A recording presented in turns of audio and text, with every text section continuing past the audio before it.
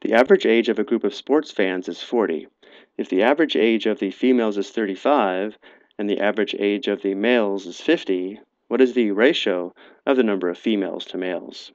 So for review, to find the average age of a group, we would sum their ages and divide by the number of people. We'll begin by defining the variables to represent the unknowns, and for this problem we'll have four unknowns.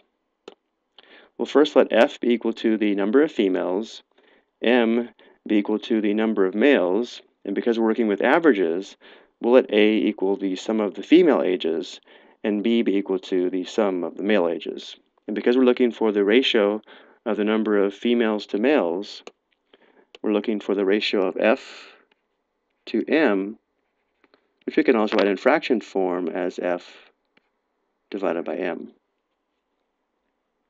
And now we're going to write three equations from the given information. So first, the average age of the group of sports fans is 40, which means the sum of the female ages plus the sum of the male ages divided by the number of females and males must equal 40. So as an equation, we would have the quantity a plus b divided by the quantity f plus m must equal 40. Next, we're told the average age of the females is 35, which means the sum of the female ages, which is A, divided by the number of females, which is F, must equal 35. And then finally, we're also told the average age of the males is 50, which means the sum of the male ages, which is B, divided by the number of males, which is M, must equal 50. And now from here, we're going to clear the fractions from each of these equations. One way to do this would be to write these averages as a fraction with the denominator of 1 and then cross multiply.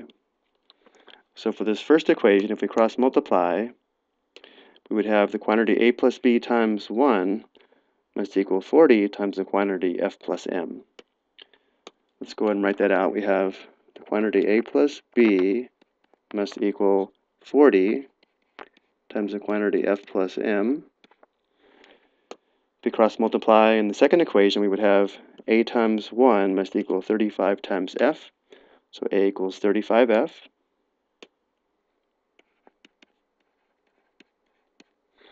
And for our third equation, we would have b times 1 must equal 50 times m. So b equals 50m. So now from here, if we can form an equation that contains just f and m, we can solve the equation for f divided by m to find the ratio of the number of females to males.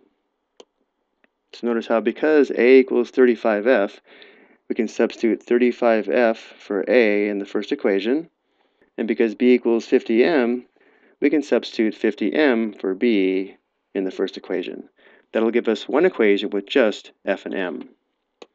So performing the substitution, we would have 35f plus b is 50m must equal, let's go ahead and distribute here. So we'd have 40f plus 40m.